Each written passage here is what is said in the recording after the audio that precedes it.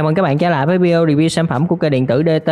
Ở video này mình sẽ giới thiệu về mạch điều chỉnh điện áp 0V cho đến 220V AC 10.000W. Ở đây thì mạch sẽ có chức năng là điều chỉnh điện áp AC với điện áp đầu vào là 220V và điện áp đầu ra có thể điều chỉnh được là từ 0V cho đến 220V.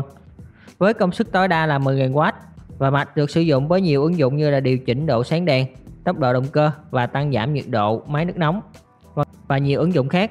Hiện tại thì sản phẩm đang được bán trên website điện tử dt.com. Từ trình duyệt các bạn truy cập điện tử dt.com, tìm kiếm với từ khóa DT1268 sau đó xem chi tiết.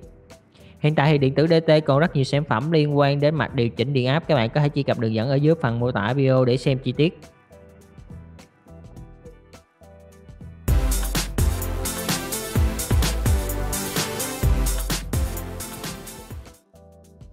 Và đây mạch sẽ sử dụng điện áp nguồn là 220V AC và mạch sẽ phù hợp với các thiết bị tương tự như là bóng đèn sợi đốt, à, dây meso, dây trở nhiệt.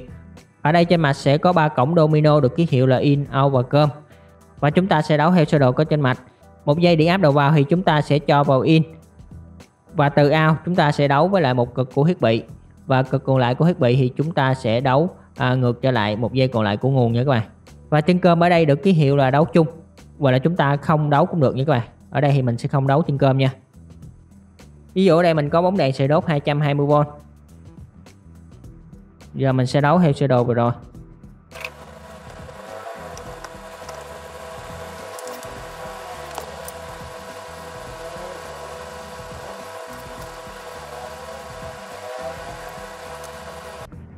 Và như đây mình đã lắp xong.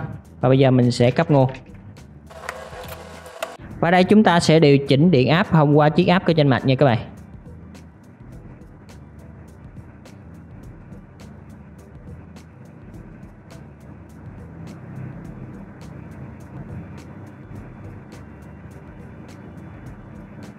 Và ví dụ bây giờ mình sẽ sử dụng đồng hồ BM để đo điện áp đầu ra, là điện áp đặt vào tải nha các bạn.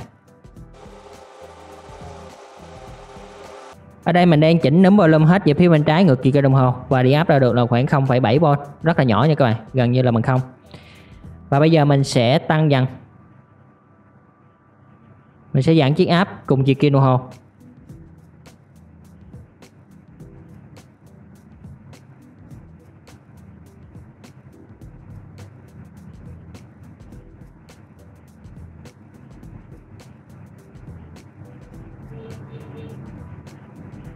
Và khi mình dặn hết chiếc áp về phía bên phải cùng chiều kim đồng hồ, thì điện áp sẽ gần bằng với điện áp tối đa nha các bạn. Là khoảng 225V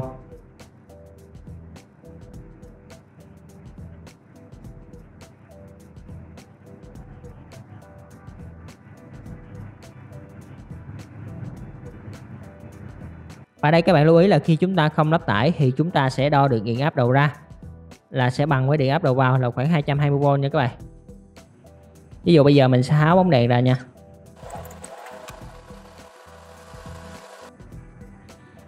Vậy là điện áp chúng ta đo được là khoảng 226V bằng với điện áp đầu vào.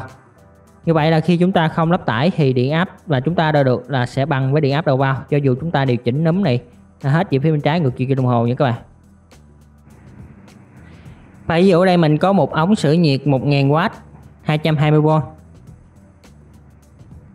ở đây ống này sẽ là 1000W nha các bạn. Và mình cũng sẽ lắp vào test thử nha.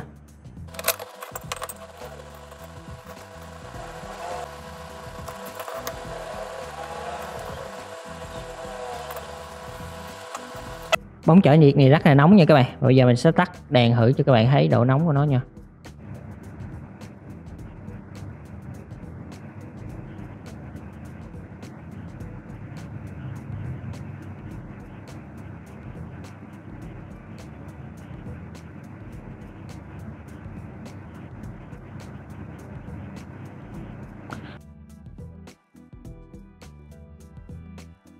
Và như vậy là thông qua mạch điều chỉnh AC này thì chúng ta có thể điều chỉnh được độ nóng của à, bóng trở nhiệt này nha các bạn.